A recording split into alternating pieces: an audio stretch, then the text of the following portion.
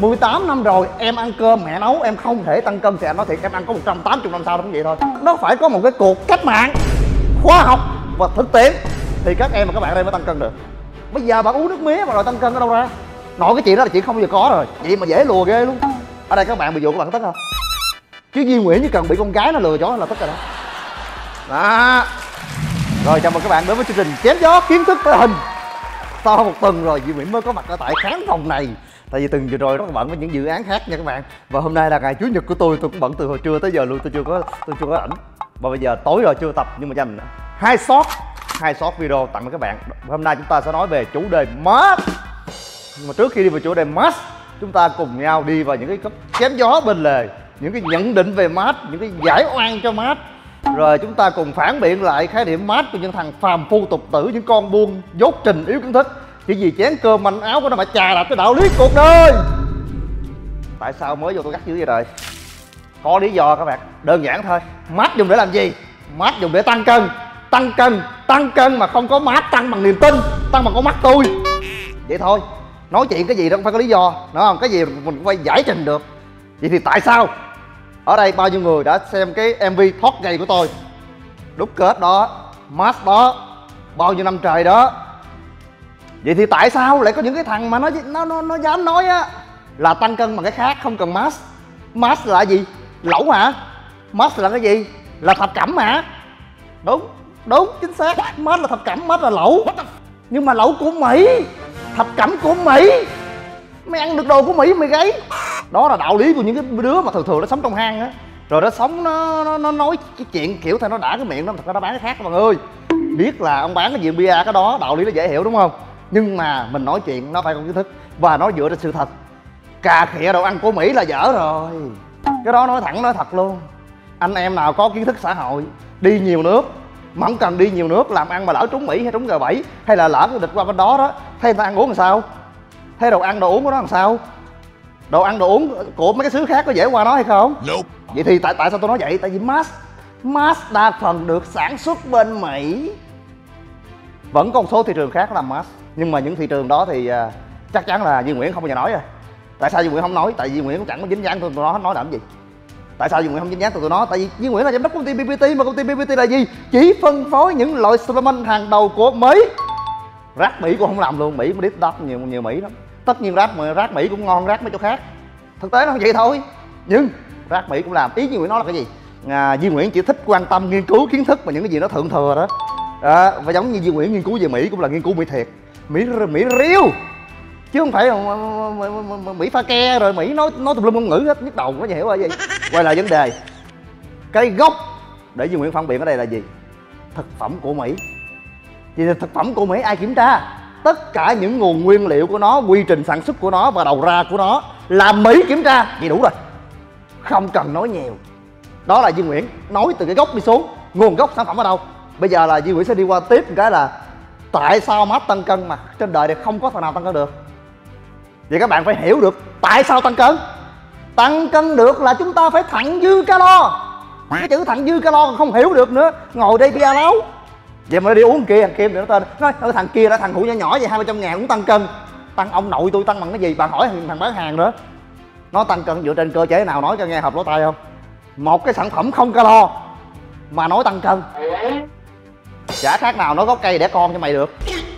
Vậy thì quay lại thẳng dư là gì? Thẳng dư là lời. Vậy thôi. Giống như là trung quốc thẳng dư mậu dịch với mỹ là sao? Là trung quốc bán hàng cho mỹ lợi. Trong khi mỹ nhập hàng trung quốc lỗ đó là kiến thức. Thì chúng ta muốn tăng cân ta phải thẳng dư calo. Phải hiểu được chữ thẳng dư calo là, là mới tăng cân được. Vậy thì cái sản phẩm nào nó mang cho tôi thẳng dư calo? Mà muốn thẳng dư calo thì cái sản phẩm đó nó phải có calo mà. Đúng không? Mà không những nó có calo mà nó còn phải nhiều calo nữa. Thì nó mới có thể tăng cân 18 năm qua bạn ốm đói bạn không tăng cân. Bây giờ bạn uống nước mía mà rồi tăng cân ở đâu ra? Nội cái chuyện đó là chuyện không bao giờ có rồi. Vậy mà dễ lùa ghê luôn. Bởi nhiều khi nói thiệt á ở, ở, ở sống ở trong gia đình cha mẹ bảo bọc ra đường bị thiên hạ nó vũ tức. Ở đây các bạn bị vụ các bạn tức không? Chứ Duy Nguyễn chỉ cần bị con gái nó lừa chó là tức rồi đó. Đó. Hiểu không? Bây giờ các bạn cứ, cứ hỏi những câu. 25 tuổi còn cao không? À, bây giờ em ốm quá em tập gym sao cho cho em tăng cân? Em ốm em ăn cái gì? Em ăn cơm ờ, với mẹ nấu hoài không tăng cân. Thì đúng rồi. 18 năm rồi em ăn cơm mẹ nấu em không thể tăng cân. Thì anh nói thiệt em ăn có 180 năm sau đó cũng vậy thôi. Nó, nó phải có một cái cuộc cách mạng. Nó phải có một sự thay đổi khoa học và thực tiễn. Thì các em và các bạn đây mới tăng cân được. Vậy thì cái thử cái sự khoa học thực tiễn là gì chúng ta phải phải thay đổi cái ăn uống ta đi. Chúng ta phải sử dụng một cái mới. Nó chứa nhiều calo dễ hấp thu tiện lợi cái đó kêu là mass gainer mass gainer là một nhánh rất là lớn trong thực phẩm bổ sung. Rất là lớn và đối với những thị trường mà kể như ốm ốm như Việt Nam mình là nó rất là trộn và rất là mạnh luôn. Trong video này, Duy Nguyễn chỉ nói chữ mass gainer chung thôi. Duy Nguyễn chưa có nói thằng nào tốt, thằng nào xấu, thằng nào cùi. Và cái cách nhận biết mass gainer sao, uống sao, đó video sau, nha. Các bạn đừng nóng. Bạn ăn nhiều, nhưng bạn không tăng cân. Đó là lý do mà bạn cần phải đi tập gym và lý do bạn cần phải uống mass hai cái khái niệm này nó không có bắt buộc đi liền nhau, nhưng bạn có thể kết hợp cả hai cái thì nó tốt. Bạn chỉ cần một trong hai cái cũng được, nhưng mà không có mass là không được. Bạn tập gym mà ăn cơm mẹ nấu, ok, cũng có thể một góc độ nào đó nó thay đổi nhẹ bạn. Cái nguyên nhân nó thay đổi được là cái gì? Là cái nhu cầu, cái nhu cầu hấp thu, hay là trao đổi chất của bạn nó tăng lên thì bạn ăn bạn ăn cơ thể bạn hấp thu nhiều hơn. Nó cũng có thể tăng cân, nhưng mà không bao giờ nó nhanh được bằng mass. Bạn thấy không? Mấy ông olympia đâu có ăn cơm mẹ nấu đâu thì các bạn cãi người ta cái gì? Các bạn thì tập gym chỉ là cái bước ở đây thôi nè. Lùng lùng lùng dưới đây, tôi cũng vậy đó, tôi lùng lùng dưới đây thôi à. Còn mấy ông nội chỉ trên đây nè. Nhưng mà cái mình khác họ là gì? Chúng ta tập gym với những mục đích khác nhau. Olympia, tập để đi thi đấu, đoạt huy chương, cầm sandal. Còn Duy Nguyễn tập gym là để gì gì? Thay đổi bản thân, thoát gầy cái sự tôi ốm. Thoát gầy và tôi hấp thụ kiến thức của hình của của này, của kia để cho thỏa mãn một cuộc đời ham học hỏi của Duy Nguyễn. Nhưng mà Duy Nguyễn cũng sẽ chia sẻ lại những cái mà Duy Nguyễn cảm thấy chia sẻ được còn có những cái chưa chia sẻ được thì không dám chia sẻ. Đó và Duy Nguyễn tập gym và làm kinh tế. Khỏe đẹp làm kinh tế. Đó là slogan thể hình phục vụ cuộc sống. Ở dưới lầu một khỏe đẹp thành công và đẳng cấp. Vậy thôi. Rồi tiếp tục là có những cái mindset đó, là uống mask có hại hệ tiêu hóa hay không?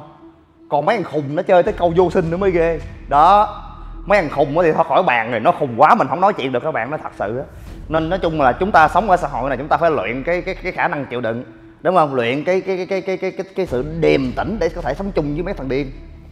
Thực tế nó là vậy thôi. Các bạn các em có thể còn quá nhỏ các em nghĩ cuộc đời nó không phải vậy nhưng mà lớn lớn xíu đi các em ra đường thấy thằng khùng nó nhiều hơn thường. Đó mà nhất là trên mạng xã hội nó khùng muôn kiểu luôn. Nên thôi nhịn tụi nó mà sống nha mấy em còn bây giờ thì anh chỉ ờ, nói với các em về góc độ ờ, khoa học kỹ thuật này đó thôi. Ở nhà thì ai cũng ăn cơm, bún riêu, bánh canh, đúng không? Tất cả mọi thứ là gì? Thì tất cả bún riêu, bánh canh này nọ, nó đều sinh ra calo. Không bằng cãi, đúng không? Thì mass nó cũng sinh ra calo. Vậy thì ở đây anh cho mấy em tự trả lời, một tô bún riêu với một tô mass. Cái nào hại hệ tiêu hóa hơn? Cái này anh nghĩ đơn giản lắm, chắc bạn dư biết, đúng không? Bây giờ các bạn, chắc bạn dư biết, tôi chưa có qua video mát tôi chưa khu bịch mát được. Nhưng bây giờ bịch mát bột nó mịn hơn cục đường nữa ok chưa? Còn bây giờ bạn bạn đi ăn gà nồi đi. Ở bạn đi ăn thịt bò đi bỏ phải bò tơi bò gì đó.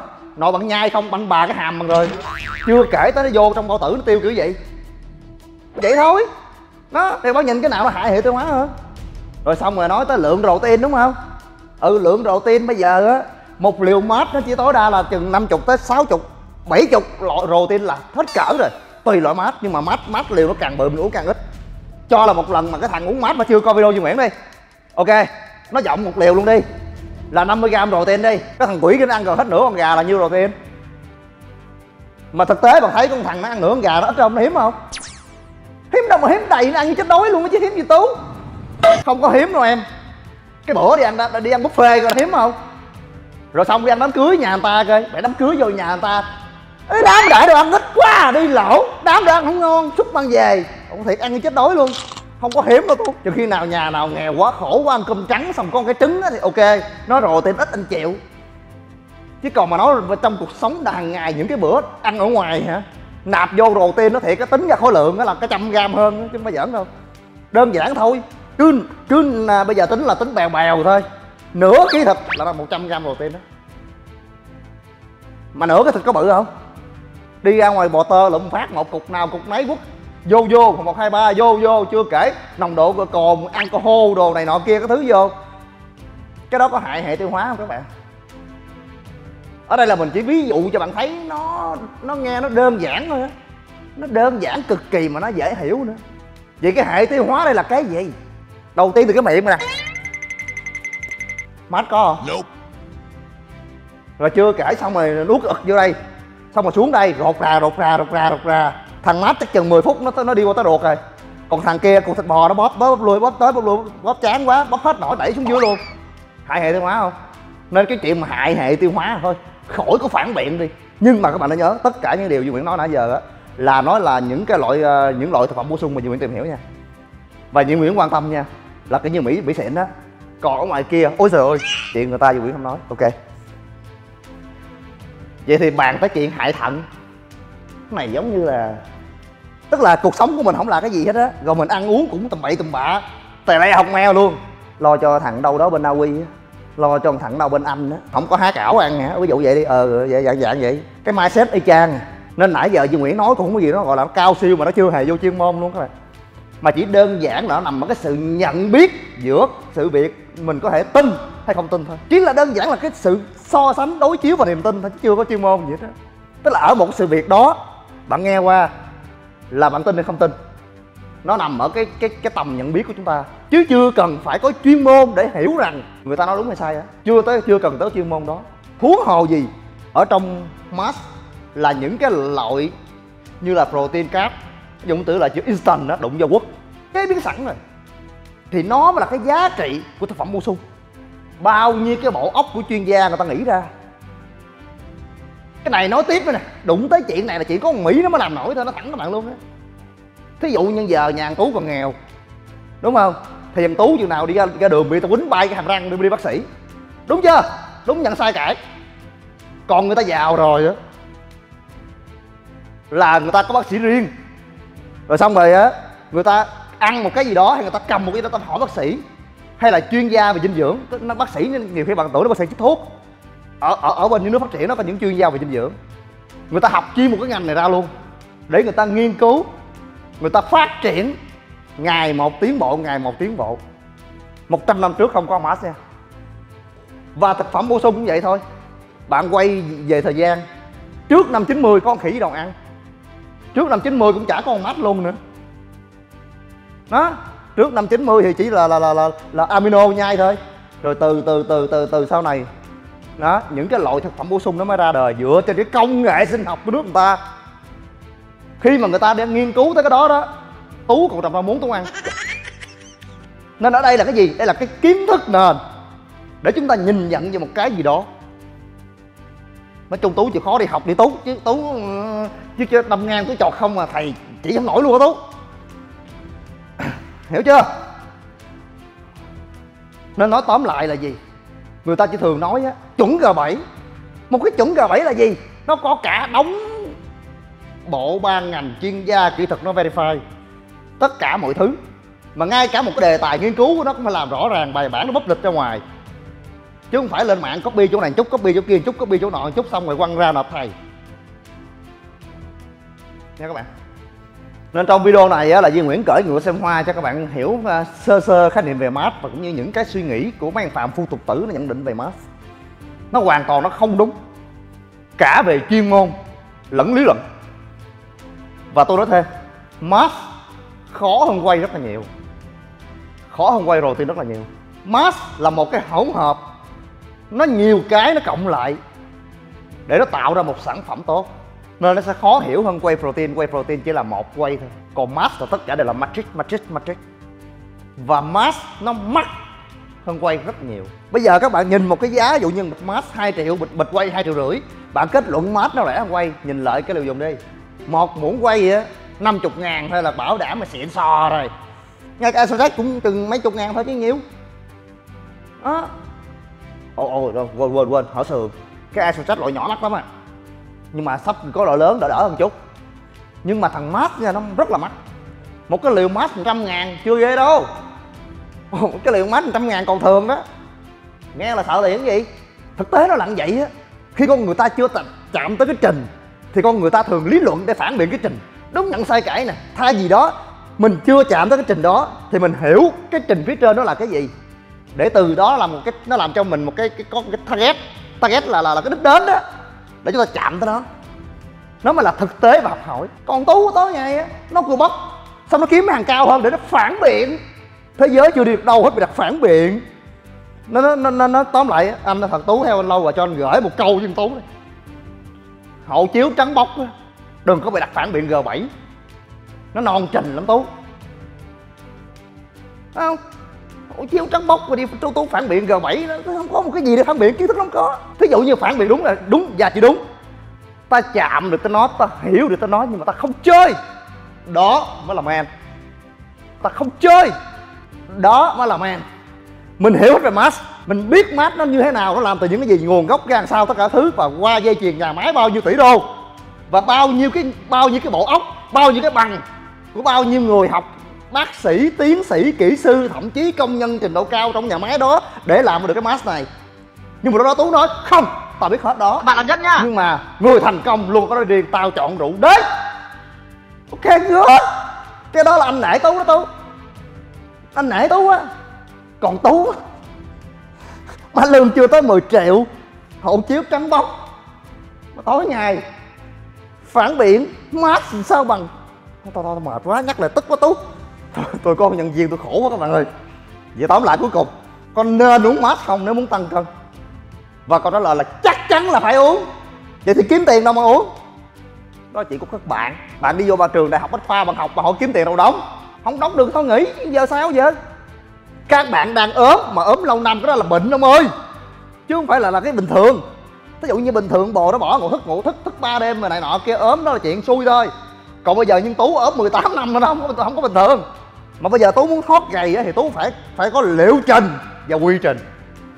Một cái liệu trình tốt nhất để thoát gầy là gì? Chia ngân sách ra làm hai. Một bên đầu tư dinh dưỡng và một bên đầu tư uh, tập luyện. Ở Việt Nam thì trình độ còn thấp các bạn sẽ không thể nào hỏi ơi tôi muốn tăng lên nhiêu ký tôi nhiêu tiền? Cái chuyện đó thì ít ai làm cho các bạn lắm nhưng mà các bạn có thể làm về à. Các bạn có một cái lộ trình nó bèo nhất nó phải hai tháng tới 3 tháng nha. Rồi các bạn đi tập gym cứ tập theo giáo án Diêu Nguyễn Kim Phổ lên website thonline.com.vn mà coi thoải mái. Chùa. Không tốn tiền ok. Rất chi tiết luôn. Rồi cái tiền còn lại đó tập trung vào supplement rồi sau đó mình về mình cân chỉnh bữa cơm của mẹ nấu lại. Hai cái này phải kết hợp nha. Chứ ví dụ như giờ tập trung supplement đã đời cơm mẹ nấu y chang như hồi xưa là không được. Nó không nó không, nó không tối ưu thôi. Góc độ chuyên gia thì Duy Nguyễn thấy nó không tối ưu. Vậy thì supplement ở đây không đơn giản chỉ là mass. Mass chỉ là một phần ngân sách lớn trong supplement đó thôi rồi vậy giờ ví, ví dụ bịch mắt này đi để đây rồi ngứa quá. Bịch này đúng không? Bây giờ một tháng á các bạn chuẩn bị hai bịch này rồi nói chuyện tiếp. Các bạn muốn thoát gầy nghiêm túc là phải làm vậy. Chứ không phải là các bạn chơi cái kiểu tới đâu tính tới đó. No cái này không phải là cái chuyện giống như gói sâu gì ngoài đường hay là ly nước mía ngoài đường. Mà cái chuyện đây là một cái chiến lược để cho các bạn thoát gầy thậm chí là bỏ mình sách một ngàn đô hai ngàn đô cho cái ví dụ này luôn. Nó mới nó mới được chứ nó thôi uống nào tăng thôi. Uống bảy sao tăng bây giờ uống mát một ngày dương liều tăng có mắt tôi tôi nói rồi. Không bao giờ tăng một ngày dương liều là mơ đi tăng đó, nói cho nó buông. Vậy thì uống mát chắc chắn là tăng ký. Chuyện đó không bàn cãi. Uống đúng nha. Vì nó tăng ở đây là tăng cái gì? Có ba thành phần tăng. Cơ, mỡ, nước. Không có mát nào tăng cơ, không, hai kia nó không tăng hết đó đời này mát đâu, mát là mơ. Nói cho nó buông.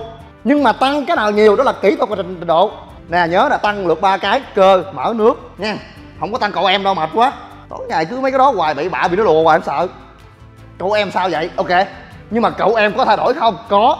Tập luyện là khi bạn tập thằng anh thì như bằng tập em đều độ nha. Cái này cái này nghiêm túc mà nó nó nghiêm túc chứ không phải giỡn thiệt. Nhưng mà nó không phải mức độ mà ví dụ như từ 13 lên 18 cái đó là xạo không có. Nó tăng cả chiều dài chiều ngang nhưng mà tăng ở mức độ tỷ lệ thuận với bạn tăng cơ thể. Chứ không phải là nó tăng cái đùng nó, nó, nó cái đó là nó, nó mở rộng thêm thôi. Rồi quay lại vấn đề tăng cơ mở và nước. Bạn muốn tăng cơ tốt thì chắc chắn đi tập gym thì tôi nói rồi mà, tăng cái gì nhiều là do sự chọn lựa các bạn và loại, và cái loại mát bạn dùng. Hai cái đó nó cộng hưởng lại. Cái loại mát bạn dùng nó chuyên tăng cơ, kết hợp với bạn đi tập gym thì nó sẽ tăng cơ nhiều. Còn cái loại mát bạn xài là mát cỏ, hay là thậm chí kêu là rác mỹ, thì chắc nó tăng nước chứ tăng mỡ. Bạn nằm ở nhà ngủ nữa thì thôi, cơ đứng nguyên hai kia tăng thôi. Còn thí dụ như lúc đó bạn nghĩ thôi, giờ tao xấu quá rồi, tăng nào cũng được thì đó chỉ của các bạn. Còn các bạn theo, theo dõi video của tôi thì tôi tất nhiên cái thức các bạn sẽ lên và cái ờ, cái sự chọn lựa các bạn sẽ trở nên khôn ngoan và tỉnh táo hơn. Tất nhiên tôi muốn tăng cơ nhiều. Tôi muốn tăng cơ nhiều và mở với nước trong giai đoạn này chắc chắn nó là sản phụ tôi phải chấp nhận. Thế thôi. Đó là cái cách trả lời thực tế nhất. Chứ không có mà đi ờ, bóng bẫy ru ngủ bạn bằng những kiến thức xạo xạo. Nó nên nói tóm lại là muốn thoát gầy phải xài mask trong chiến lược dinh dưỡng của mình. Còn lựa chọn mask nào? Đẳng cấp và làm sao? Nguyên lý mát hoạt động như thế nào là nội dung của video sau. Tạm biệt các bạn. Cảm ơn các bạn đã theo dõi chương trình. Hẹn gặp lại các bạn chương trình tiếp theo và nhớ theo dõi website thanonline com vn.